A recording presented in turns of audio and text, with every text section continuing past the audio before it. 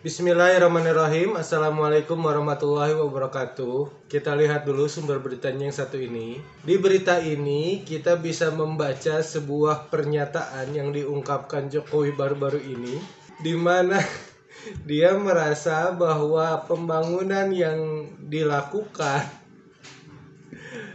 saat ini kacau gitu. Jadi begini nih keterangannya. Saya melihat saya ini lapangan terus. Ada waduk tapi nggak ada irigasinya. Irigasi primer sekunder tersier. Ini nggak ada. Ada itu saya temukan di lapangan kata kata Jokowi begitu. Terus dia juga bilang kemudian bangun pelabuhan. Pelabuhan baru. Nggak ada akses jalan ke situ. Ya apa-apaan? Gimana pelabuhan itu bisa digunakan? Iya Terus Jokowi juga bilang yang terakhir ini jangan hanya mengulang terus mengulang-ulang perencanaan dari tahun-tahun sebelumnya sehingga tidak pas, tidak adaptif terhadap situasi hari ini. Ini Jokowi marah ke siapa?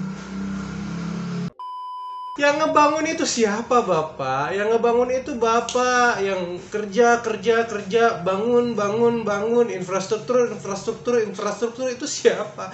Bapak Jokowi sendiri. Nah sekarang Bapak Jokowi bilang kalau pembangunannya itu yang satu nggak ada jalannya, yang satu nggak ada irigasinya, kumaha atuh? Kan saya heran gitu. Ini kritik yang diberikan oleh Jokowi ini untuk siapa gitu? Kalau misalkan dia harus emosi-emosi kepada siapa? siapa pemimpinnya ini sebagai rakyat jelata kan kita jadinya pengen ngetawain gitu ini Jokowi itu gimana gitu. Udah kemarin kejadian demi kejadian salah ngomong demi salah ngomong sekarang begini mengkritik hasil pembangunannya sendiri. Ya Allah udahlah ya.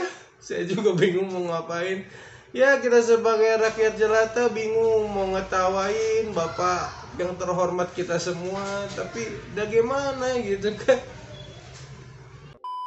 Ya udah sebelum saya lebih banyak ngelantur ke mana-mana Saya akhiri video kali ini. Mohon maaf apabila saya ada salah kata.